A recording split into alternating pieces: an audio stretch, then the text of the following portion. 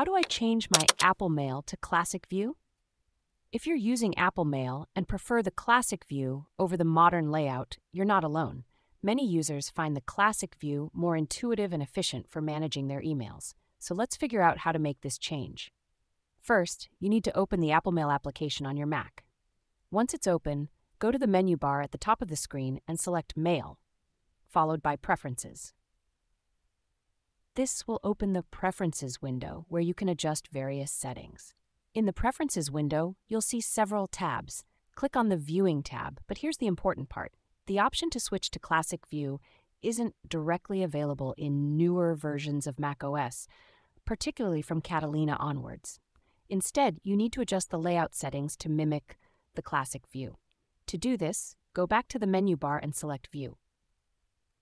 Here you'll find two key options, Show Side Preview and Use Column Layout. Uncheck the Show Side Preview option. This will remove the preview pane that appears on the right side of the window in the modern view.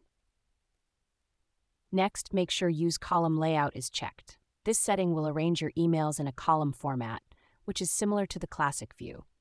By making these changes, you'll get a layout that's closer to the classic view even though the actual Classic View option is no longer available in newer macOS versions. This setup allows you to read each email directly in the list without having to double click and open it in a new window, which can save you time and screen space. So, there you have it a simple way to change your Apple Mail to a layout that feels more like the classic view.